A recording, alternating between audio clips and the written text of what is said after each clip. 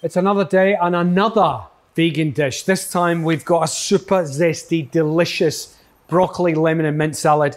This is a belter. All right, start off, I've got some lovely Australian sunflower seeds straight into a pan and we're gonna toast them off, make them nice and golden brown.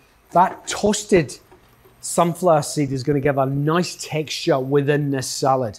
So while they're toasting off, let's crack on with the broccoli. And what we wanna do is just cut the broccoli florets off one at a time, nice and neatly, and just work your way around the broccoli. Keep an eye on your sunflower seeds. On the background, in my background, in the background, I've got a pan of water and I'm gonna blanch my broccoli. I don't want the broccoli to be soft at all. I still want a crunch and a bite in the broccoli. Now you can see cut that all the way around the broccoli florets. And I'm left with a little tree top there. I'm just gonna cut that and then I've got this stalk. Now, I see so many people throw this in the bin. Stop throwing it in the bin. Get your knife, cut along the edge in, and then just peel it back like that and drag it all the way down. And if we do that all the way around, we're gonna be left with the most delicious, crispy, sweet, crunchy broccoli stem. And it doesn't taste bitter and awful at all with that guy. That is delicious. The skin, the worms can have that. Sunflower seeds are getting hot and toasty. There isn't a day goes by where I don't burn some kind of nut. Let's say, for example, you come, you've come across this recipe by accident you're not vegan, feel free to add some guanciale, some speck, bit of cheese. Okay. So you can see those are now nice and golden brown. Next up, Australian pepitas.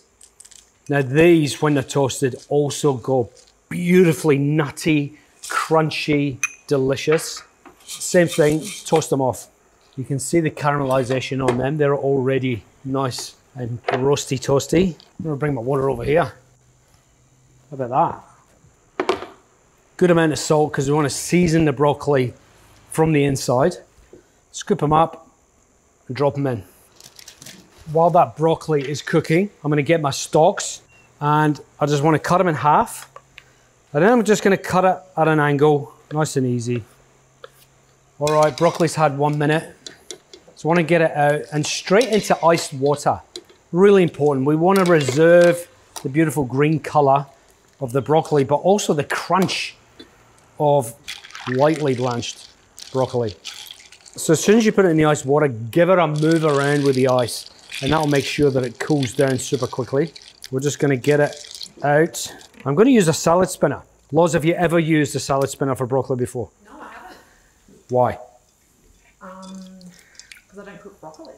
You don't cook. The reason is I want the most amount of delicious dressing to coat my broccoli. And if there's water in the way, it's just gonna dilute my dressing. And that is gonna make me so upset. So stick in the salad spinner, nice dry broccoli. Into there, we've got our broccoli stalks. Next, I've got some smoked almonds. The smoked almonds, I just wanna crush them. I'm to use the back of a pan. So I want them still to be kind of whole-ish. So I'm just going to give them a little bit of a go. Now, smoked almonds, delicious flavour. So without having to barbecue anything or whatever, I can get that kind of smoky flavour in there. Our sunflower seeds in. Our pepitas in. Now, smoked salt. Find at your local supermarket, your deli. Black pepper, now, salad is ready to go. All we need to do now is make the dressing. This is the zingy, zesty kind of lemon part. Now, for me, jalapeno. You can buy hot sauce jalapeno. There's a million different varieties. It doesn't matter. I'm gonna add tablespoon-ish. I'm gonna add some lemon zest. So we'll do the zest of probably a whole lemon. I want this to be zingy and zesty. I want people to pay attention when you eat this salad. Okay, little roly roly. A little strain strain. Remember, we've added some smoked salt into our salad already. So I want to be careful with the amount of of salt that I'm that I'm putting inside this dressing while I make it. And because of that, and because I love it, I'm going to add some white soy as my seasoning for the dressing, and it's going to help pad out the flavor on your palate. Extra virgin olive oil, good glug. We'll give that a little whiskey, we'll have a taste. Loz, how spicy do you want it? My medium. Your medium.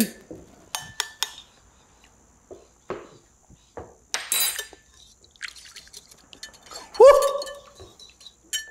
Yes, medium. That is delicious. The inside of my cheeks have just went, and then I've got a little bit of spice from the jalapenos. Not crazy, but it's definite. I know it's there. The last thing I need is some fresh mint. Now I'm deliberately picking these big leaves because I want to tear it. It's a whole, like that's a lot of mint, right? Just tear it.